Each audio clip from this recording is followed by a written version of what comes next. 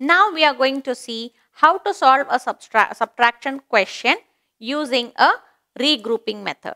Okay. So the title will be subtraction with regrouping. So what do you mean by regrouping children? Regrouping means when we categorize the same item in one particular group. Okay. So here for you to understand I am explaining you with an example. The example given here are out of 5000 people who came to circus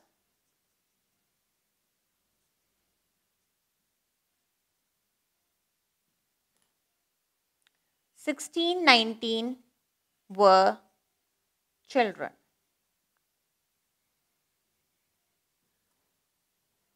Find the number of adults.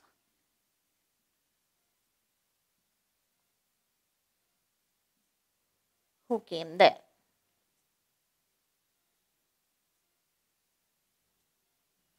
Okay. So now the very first thing is total number of people.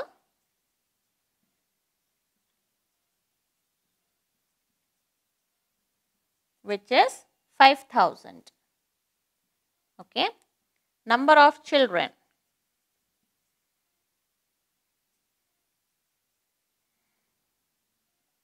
Which is equals to 1619 therefore number of adults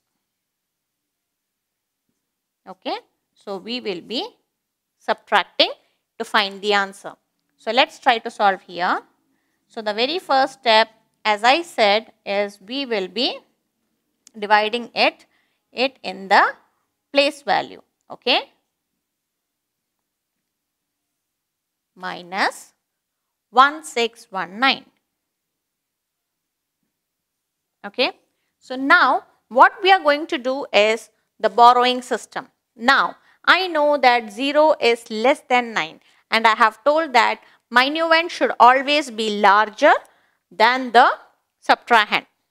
It is not possible for me to reduce 0 from 9. So, what will I do is I will borrow from tens. So, this when I borrow it will become 10. So, now is it possible for me to reduce 10 from 9? Yes, because 10 is larger than 9. So 10 minus 1, 9 becomes 1. Okay.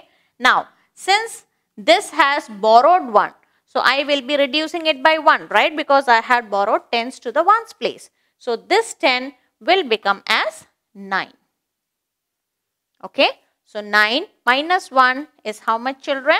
It's 8. Okay. Again, this will be reduced. Okay. And this will be 9 minus 6 is how much? It's 3. And this will be 4. 4 minus 1 is 3. Okay. So, shall we add it and see whether our answer is right or wrong? Let's see here. So, 3, 3, 8, 1 plus 1, 6, 1, 9. 1 plus 9 is 10. 1 plus 8, 9, 9 plus 1, 10. 1 plus 3, 4. 4 plus 6, 10. 1 plus 3, 4. 4 plus 1, 5. So, which means that my answer is correct. So, 3381 people were adults in this group of circus. Okay. So, what did we do children? First, we place them in their correct place value. After that, we borrowed it from the next place value. For example, in ones, if the number is short, I borrowed it from tens. Then I borrowed it from hundreds and then to the thousand. So, by how many number I am borrowing it? That number we have to subtract when we come to the respective column.